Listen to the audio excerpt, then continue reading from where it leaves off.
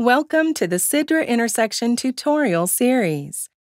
In this video, we'll show you how to use the roundabout's input dialog to specify input parameters specific to roundabouts.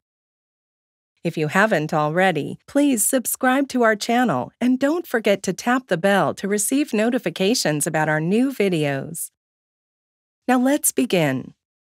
The roundabout's input dialog is available when the site type is unsignalized roundabout or roundabout with metering signals. The general roundabout geometry specifications are given in the intersection, movement definitions, and lane geometry dialogs before the data in the roundabout's dialog are specified. The roundabouts dialog includes input parameters specific to roundabouts. Let's use this unsignalized roundabout site as an example for the overview of the roundabouts dialog. Click Roundabouts in the Site Input section to open the dialog. Click View Display at top right to view the layout picture. To close the layout display, select No Display from the drop-down menu. The Roundabout's input dialog contains multiple tabs. The number of tabs that are visible depends on the model options selected under the Options tab.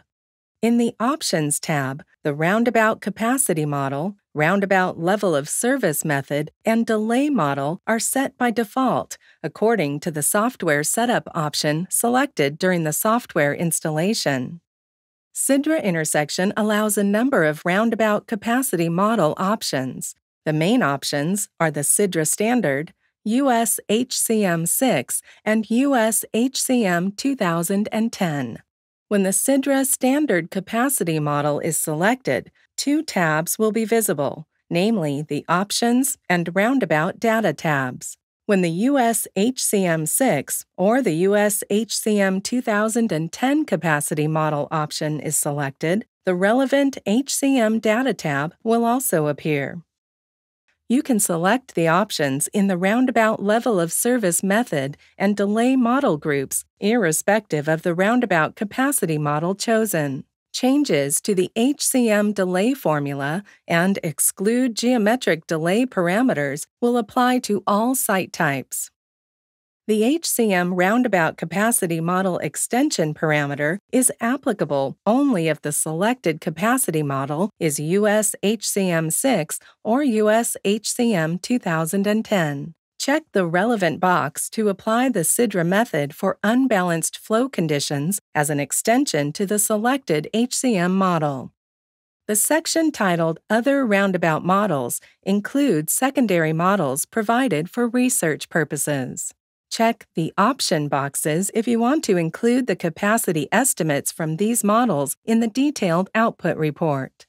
When the FHWA 2000 option is selected, the FHWA 2000 Data tab will appear in addition to the other tabs. If the site type is a roundabout with metering signals, the Roundabout Metering tab will appear. Let's use this example to make a few changes in the approach-based geometry table in the Roundabout Data tab. As you enter data in the geometry table, the relevant approaches will be highlighted in the layout display. In front of the west approach, change the number of circulating lanes to 1 and the circulating width to 20 feet. And insert a circulating transition line in front of the south approach by ticking the checkbox.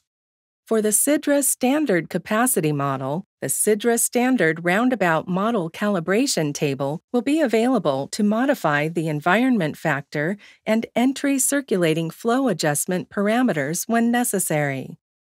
If the selected roundabout capacity model is HCM6 or HCM 2010, the geometry parameters that are not applicable to the selected model will be indicated with an asterisk in the geometry table. In this case, these parameters are shown for information only, and their values will not affect the results.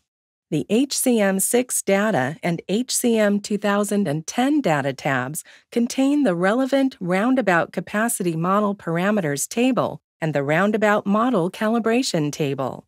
The models can be calibrated by changing the parameters in these two tables. Please refer to the user guide for definitions of the roundabout geometry parameters. Now let's have a look at the roundabout's input dialog for a roundabout with metering signals. In this case, the Roundabout Metering tab will appear in addition to the other tabs. Click View Display to view the layout picture. The Roundabout Metering tab includes various design and control parameters unique to roundabouts with metering signals. Click the symbols on the image to define metered and controlling approaches.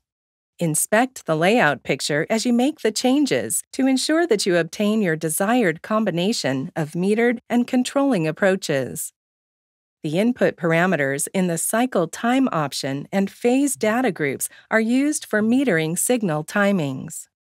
This concludes our tutorial on the roundabout's input dialog in Sidra intersection.